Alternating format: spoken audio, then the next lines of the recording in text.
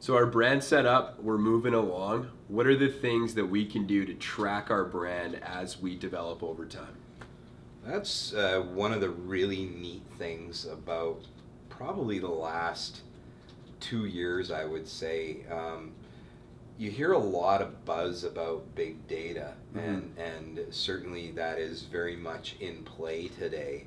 Um, what I would say is the tools uh, have improved to the point and become accessible to more people whereby you can actually really track sentiment. Mm-hmm. So uh, we use that term around here a lot. And so it, it's, you know, going back to a brand being effectively what people say about you, mm-hmm. we can use software tools like Radian to um, start to track how a brand is being discussed in social media. Mm-hmm. And, and that's been the real game changer is, um, you know, years ago you had to hire a company like Angus Reid or something like that to do a poll to understand how your brand is doing. Mm-hmm. Now it's very much lightning fast, real mm-hmm. time. Mm-hmm. You're using this big data play where you're starting to understand in very real terms and real time what people are saying about you on Twitter, Pinterest,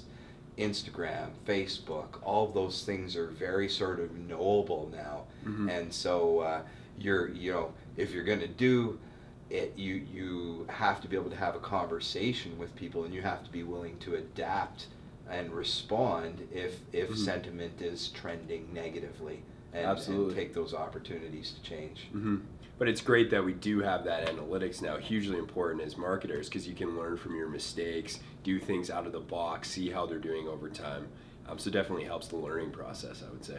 Yeah, and that's and that's one of the things that probably makes Sherpa different from its competitors is uh, we're not sort of the pretty pictures guys. Mm-hmm. Um, you know, absolutely we do great creative, but what we're really focused on is doing great creative that drives measure, measurable results. Mm-hmm. We're, we're interested in, you know, how did it work? We're, we're interested in, you know, defeating that old joke about marketing. Half my marketing works, mm-hmm. I just don't know which half. Mm-hmm. We're trying to tell you which half of your marketing Absolutely. is working.